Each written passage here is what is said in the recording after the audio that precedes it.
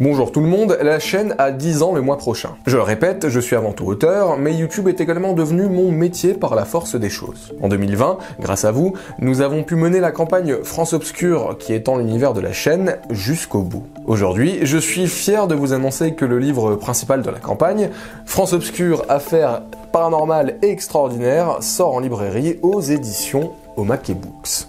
Et je tiens d'abord à dire que ce n'est pas simplement un livre de youtubeur, dans le sens où je ne le vois pas comme un produit dérivé ou marketing.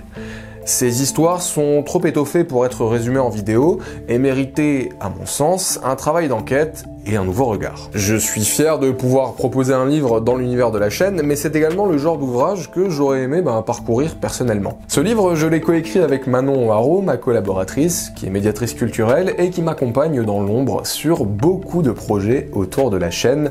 Sans elle, la chaîne ne serait pas ce qu'elle est aujourd'hui.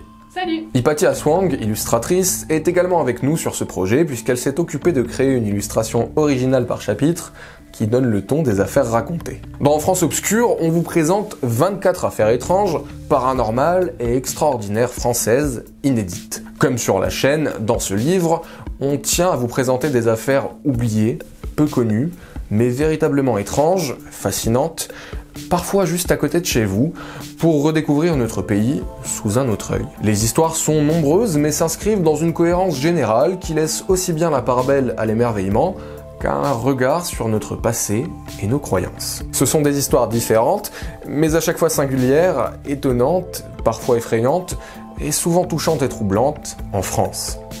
C'est un livre enquête, car dans certaines grosses affaires ou nombreuses zones d'ombre, nous avons poussé le travail de recherche et documentation à son maximum, pour vous proposer nos conclusions factuelles sans rien négliger. Certaines affaires, d'ailleurs, apportent des nuances inédites ou font ressurgir des personnages tombés dans l'oubli. J'ai à cœur de poursuivre une forme de travail cohérent en famille. Les mêmes personnes qui m'aident sur la chaîne se sont associées à moi sur ce livre et mon éditeur nous a accompagnés jusqu'au bout pour vous proposer l'ouvrage le plus abouti que nous pouvions faire, en tout cas à nos yeux. En guise de mot de la fin, j'ai conscience de la chance énorme qu'est celle d'être publié.